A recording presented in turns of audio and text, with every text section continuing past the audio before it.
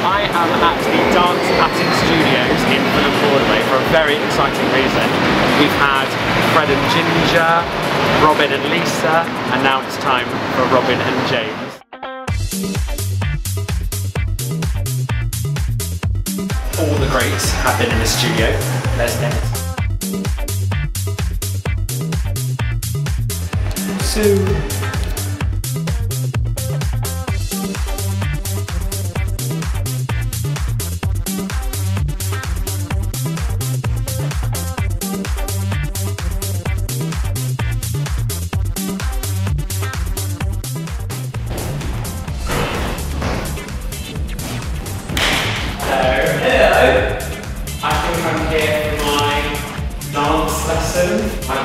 beginner's dance lesson. Beginner's dance Beginners. That looks a little bit scary. Uh, that's very, very tame. But I've got some stuff up my sleeve for you. Okay.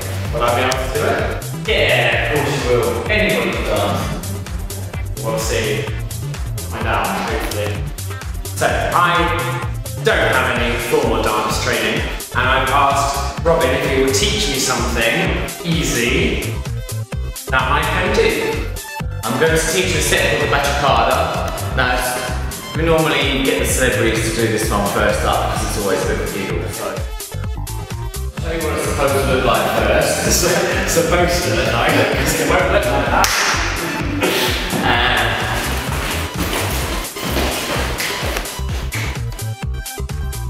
there you go. One and the two and the three and the four and the five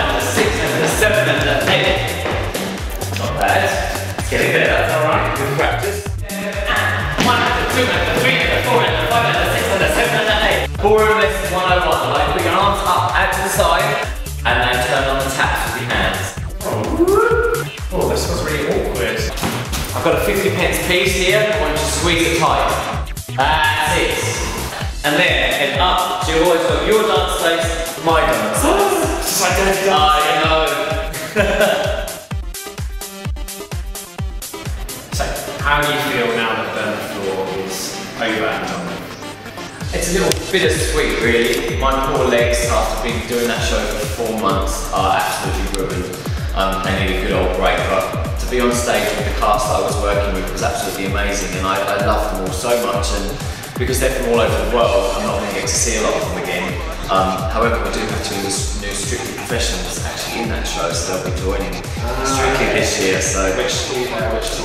Um, Aljaž, she's from Slovenia, and Janette, she's from Cuba.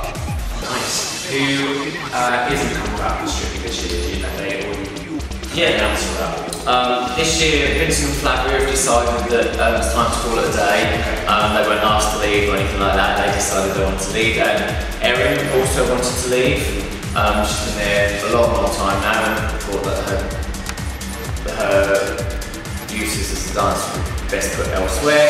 And Aliona won't be back this year either. So there's four new professionals, three of which have been in Burn the Floor at some point. There's quite a few other street professionals that have been in Burn the as well. There's you and Christina. Um, and Karen's in as well, There's also Artem, Natalie and Pasha.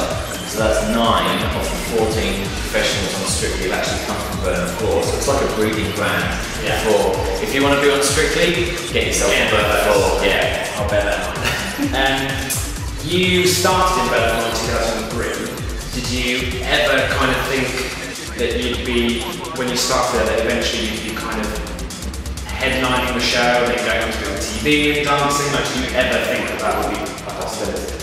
it's all been a dream come true. I mean, I started as, I think it was 2002, I started there as a, just turned 20 years old, and as an ensemble dancer in a show, who knew that in eight or nine years' time I would be on television on Strictly Come Dancing and then being invited back to headline the show that I started with. So it's like I've done full circle and it's been really awesome and they're still my second family and I love them all. Any hopes of who you might have as a partner this year? Oh, you know what? We can all wish for Beyonce as much as we want, but we know it's never going to happen. Um, you never know. You never know. They, they could blow their whole budget, plus the whole year's budget. Yeah. Um, I just want somebody I can have a good time